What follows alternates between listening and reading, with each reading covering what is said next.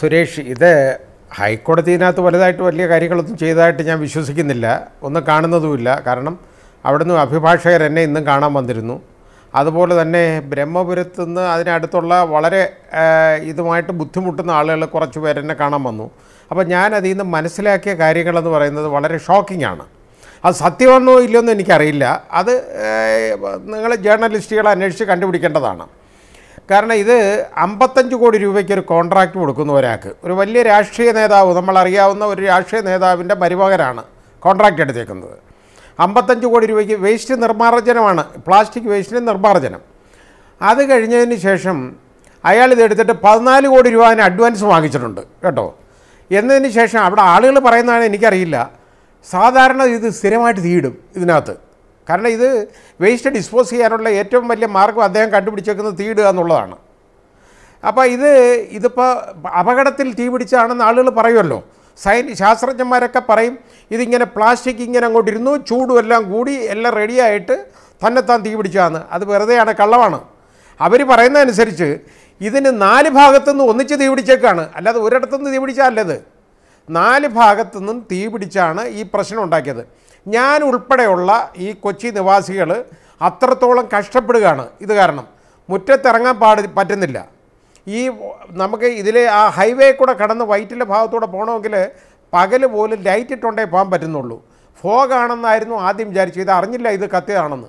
ഈ പ്ലാസ്റ്റിക് ഇത് അത്രത്തോളം അത്ര ബുദ്ധിമുട്ടാണ് ഇതിനകത്ത് ഇത് ഉണ്ടായിരിക്കുന്നത് ഇനി ബാക്കി ഇതിന്റെ ഞാൻ പറഞ്ഞില്ലേ ഹൈക്കോടതിയുടെ നടപടിയെക്കുറിച്ചൊക്കെ പറഞ്ഞ് അതിനെക്കുറിച്ച് ഞാൻ ഒന്നും പറയുന്നില്ല. അത് പറഞ്ഞു കഴിഞ്ഞാൽ വേറെ പ്രശ്നമുള്ളതുകൊണ്ടാണ് ഞാൻ പറയാത്തത്. ഞാനതങ്ങ് വിടുകയാണ് അതിനെക്കുറിച്ച്. പക്ഷേ ഇതൊന്നും അല്ല വേണ്ടത്. ജനങ്ങളുടെ ഇച്ഛാശക്തിയാം അതും സർക്കാരിന്റെ സ്ട്രോങ് പൊളിറ്റിക്കൽ വിൽ വേണം ഇതിനകത്ത്. ഇല്ലാതെ ഈ പറഞ്ഞുകൊണ്ട് കാര്യമില്ല. ഇവിടെ ശ്രീ സന്തോഷ് പറഞ്ഞത് ഞാൻ കേട്ടു. മുഴുവനായിട്ട് എനിക്ക് ഓഡിയോ ഇല്ലാത്തതുകൊണ്ട് എനിക്ക് കേൾക്കാൻ പറ്റിയില്ല. എന്നാലും കുറച്ച് ഞാൻ കേട്ടു. കേട്ടത് ഇത് ശരിയായ റിസർച്ചൊന്നും ഇല്ലാതെ ശരിയാണ് വിദേശങ്ങളിലൊക്കെ നമുക്ക് ഈ പ്രശ്നമൊന്നും കാണാൻ കിട്ടുന്നില്ല. ഞാൻ ഒരുപാട് രാജ്യങ്ങളിൽ പോയിട്ടുള്ള ആളാണ്. ഇതുപോലൊന്നും കാണാൻ പറ്റുന്നില്ല. പക്ഷേ ഇന്ത്യയെ തന്നെ ഇത് വളരെ വിജയകരമായ രീതിയിൽ ഇത് നന്നായിട്ട് ചെയ്യുന്ന സ്ഥലങ്ങളുണ്ട്. ഇപ്പോൾ ഇൻഡോർ ഇൻഡോറിലൊക്കെ ഉണ്ടല്ലോ. വളരെ അതായത് കക്കൂസ് മാലിന്യം പോലും ശുചീകരിച്ച് റെഡിയാക്കി വൃത്തിയാക്കി എടുത്ത് അത് ബയോ ഇത് ബയോഡീഗ്രേഡബിൾ ബയോഗ്യാസായിട്ട് മാറ്റിയാണ് അതുവരെ ചെയ്യുന്നുണ്ട് അവിടെ ഇൻഡോറിൽ പോലും. നമ്മളെ കഴിയൊക്കെ എത്രയോ പുറകോട്ടുള്ള ആളുകളാണ്. ഒന്ന് ആലോചിച്ച് നോക്കിക്കോളൂ പക്ഷേ കൊച്ചിയെ സംബന്ധിച്ചിടത്തോളം ഈ കെടുകാര്യസ്ഥത മാത്രമല്ല രാഷ്ട്രീയക്കാരുടെ കൈയിട്ട് വാരൽ അതാണ് പ്രശ്നം. ഇത് ഈ വേസ്റ്റ് എന്ന് പറയുന്ന സാധനം ഉണ്ടല്ലോ. കാരണം ഞാനിത് ഒരുപാട് ഇതുമായിട്ട് ബന്ധപ്പെടാൻ ഇടയായിട്ടുണ്ട്. നേരത്തെ സന്തോഷം പറഞ്ഞ പോലെ ഞാൻ ജെളിയമ്പറമ്പിൽ അത് ഞാൻ എനിക്ക് ട്രീറ്റ് എനിക്ക് ഞാൻ കൊച്ചി ഞാൻ കോഴിക്കോട് ജില്ലാ ജഡ്ജിയായിട്ടിരിക്കുമ്പോൾ എനിക്ക് അതിന് അത് ഡീൽ ഉണ്ടായിട്ട് വന്നിട്ടുണ്ട് ഞെളിയമ്പറമ്പിൽ അതേപോലെ തന്നെ ലാലൂര് ലാലൂര് ഹൈക്കോടതിയുടെ നിർദ്ദേശാനുസരണം. എനിക്ക് ഒരുപാട് കാര്യങ്ങൾ അവിടെ ചെയ്യേണ്ടതായിട്ട് വന്നു. ഒത്തിരി ഞാൻ റിപ്പോർട്ടും ഒക്കെ കൊടുത്തതാണ്. ഇത് പ്രശ്നം എന്താണെന്നറിയോ? ഈ വേസ്റ്റൊക്കെ അതായത് നമുക്ക് ഓരോ ഫ്ലാറ്റുകളുണ്ടല്ലോ വലിയ ഫ്ലാറ്റ് സമുച്ചയങ്ങൾ. ആ ഫ്ലാറ്റ് സമുച്ചയങ്ങളിലെ വേസ്റ്റ് അവിടെ തന്നെ അത് ശരിയാക്കി ട്രീറ്റ് ചെയ്തെടുക്കാനുള്ള പ്ലാന്റ് ആദ്യം ഉണ്ടെങ്കിലേ അതിനൊക്കെ ലൈസൻസ് കൊടുക്കാവൂ. ഇവിടെ നമ്മൾ കാ- കടലിനകത്ത് ഇറക്കിയാലും കായലിനകത്ത് ഇറക്കി വെച്ചാലും ഫ്ലാറ്റിന് അനുവാദം കിട്ടുന്ന സ്ഥലമാണ് നമ്മുടെ നാട്. പറഞ്ഞുകൊണ്ട് കാര്യമില്ല. ഇവിടെ കാശുള്ളവന് കാര്യങ്ങളങ്ങ് നടക്കും. അതാ ഇവിടെ നടന്നുകൊണ്ടിരിക്കുന്നത്. പൈസ ഉള്ളവർ കടലിനകത്ത് പോലോ കായലിനകത്തോ എന്ത് ആശുപത്രി കെട്ടിയാലോ അല്ലെങ്കിൽ വേറെ കെട്ടിടം പണിഞ്ഞാലോ ഫ്ലാറ്റ് പണിഞ്ഞാലോ ഒന്നും ഒരു പ്രശ്നവുമില്ല ഇവിടെ. ആ രീതിയിലുള്ള ഒരു സ്ഥല കാര്യങ്ങൾ നമ്മൾ കാണുന്നതാണ്. ഞാനതൊന്നും കൂടുതൽ അതിനായിട്ട് കുറിച്ച് പറയുന്നില്ല. കാരണം ഓരോന്നും എന്റെ കയ്യിൽ അതിന്റെ മുഴുവൻ ഡീറ്റെയിൽസ് എനിക്ക് എന്റെ കയ്യിലുണ്ട്. പക്ഷേ അത് പറയാനുള്ള ചില പരിമിതികളുള്ളതുകൊണ്ട് ഞാനത് അവിടെ അതങ്ങ് വിടുകയാണ്. ഇത് അത്രത്തോളം ബുദ്ധിമുട്ടുള്ള ഈ സ്ഥലത്ത്. ഇത് താങ്കൾ തുടക്കത്തിൽ തന്നെ പറഞ്ഞ ഈ വേസ്റ്റ് അവിടുത്തെ പ്രദേശവാസികൾ അടക്കമുള്ളവരിൽ നിന്ന് സംസാരിച്ചതിൽ നിന്ന് മനസ്സിലാക്കിയതായി പറഞ്ഞത് ഇതിന്റെ പിന്നിൽ നടന്നൊരു വലിയ ക്രമക്കേടിനെ കുറിച്ചാണ്. അതായത് ഈ ലെഗസി വേസ്റ്റുകൾ കുറെ കാലമായി കെട്ടിക്കിടക്കുന്ന. വേസ്റ്റുകൾ സമയബന്ധിതമായി പൂർത്തിയാക്കാൻ ഒൻപത് മാസത്തിനകം ഒരു കമ്പനിക്ക് കരാർ കൊടുക്കുന്നു. ആ സമയം നീട്ടി നൽകുന്നു. ആ സമയം നീട്ടി നൽകിയിട്ടും ഇരുപത്തിയഞ്ച് ശതമാനം പോലും ഈ മാലിന്യം സംസ്കരിക്കാതെ വരുന്നു.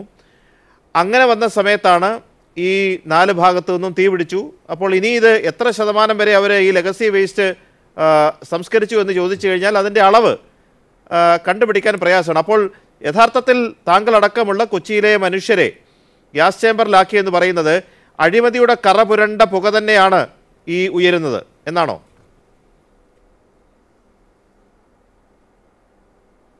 അത് തന്നെയാണ്. വേറെ ഒന്നുമല്ല. ഇത് വളരെ ക്ലിയറായിട്ട് ഇത് അഴിമതി മാത്രമാണ് അല്ലാതെ വേറെ ഒന്നുമല്ല.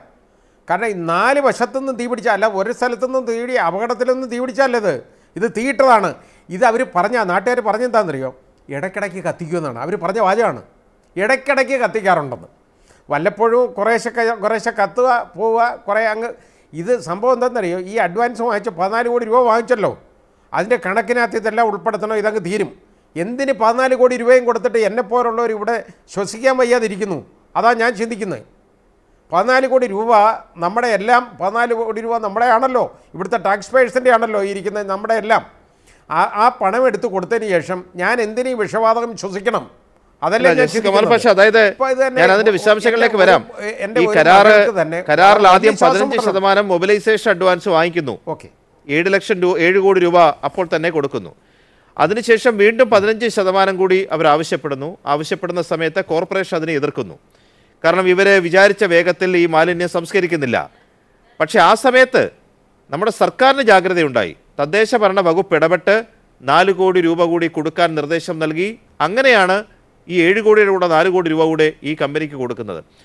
ഒരു വർഷം കൊണ്ട് ഒരു വർഷവും രണ്ട് മാസവും എടുത്തിട്ട് പോലും ഒൻപത് മാസം കൊണ്ട് പൂർത്തിയാക്കുമെന്ന് പറഞ്ഞ പ്രവൃത്തിയുടെ ഇരുപത്തഞ്ച് ശതമാനം പോലും പൂർത്തിയാക്കാത്ത ഒരു കമ്പനിക്കാണ് ഈ പണം നൽകിയത്. ഇതിനെക്കുറിച്ച് മുൻ മേയർ ടോണി ചമ്മണി വിജിലൻസിന് ഒരു പരാതി കൊടുക്കാൻ വേണ്ടി ഫെബ്രുവരിയിൽ വാർത്താസമ്മേളനം വിളിക്കുന്നു. ഈ ആരോപണങ്ങൾ ഉന്നയിക്കുന്നു. പരാതി തയ്യാറാക്കി കൊടുക്കാൻ വേണ്ടി ഏതാണ്ട് അവസാന ഘട്ടം എത്തുന്നു. മാലിന്യത്തിന് തീപിടിക്കുന്നു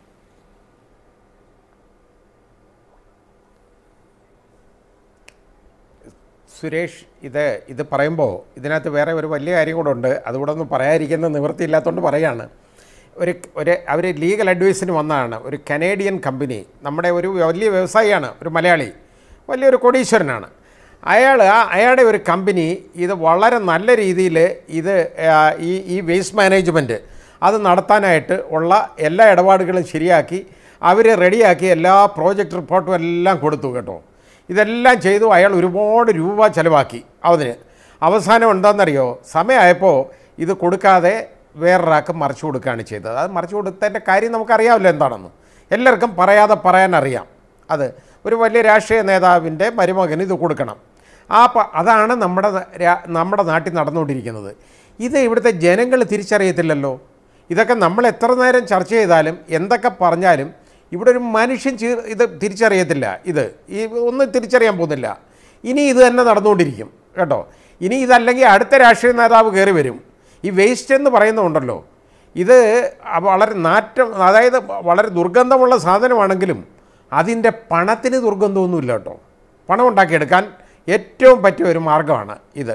ഞാൻ ഒരുപാട് കണ്ട ഇത് കണ്ടേക്കുന്നതുകൊണ്ട് പറഞ്ഞാണ്. പക്ഷേ ഇവിടെ ഇപ്പം ഇത് അപ്പാരന്റ്ലി അതായത് വളരെ വ്യക്തമായിട്ടും ഇത് ഇത്രയും വലിയ അഴിമതി ഈ നടത്തുകയാണ്.